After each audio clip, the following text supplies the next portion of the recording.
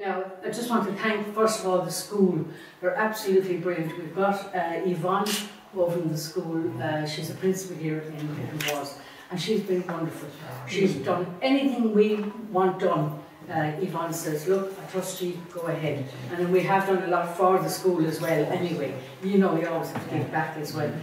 Uh, so she's delighted with this. Now, the place, as you'll all know that have worked on this, was horrendous. It was, Margaret just hoovered it a few minutes ago, you should have seen it.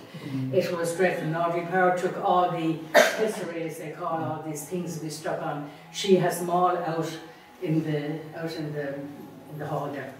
Uh, because we had a table there, we had two tables here, we had there's beads still on the ground all over the place.